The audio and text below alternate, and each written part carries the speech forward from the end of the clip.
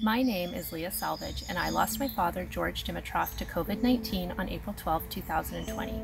He was 69 years old. My dad was a big personality who didn't go halfway on anything.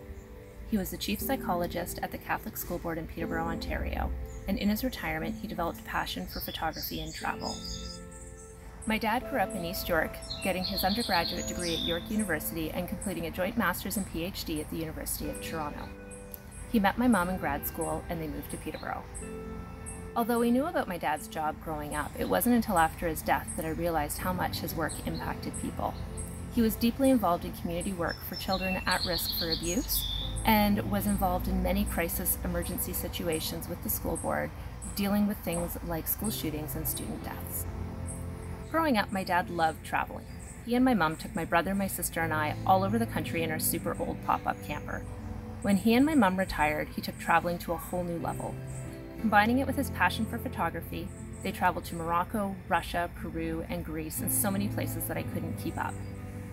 My dad loved posing for pictures. He would say it was proof that he was there.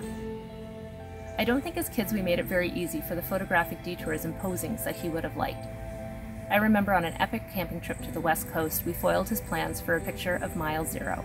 It was all he talked about. 15 years later, he finally got that picture. Now that he's gone, I'm just starting to understand just how important having those memories are, and I'm so thankful that he was able to capture them for us.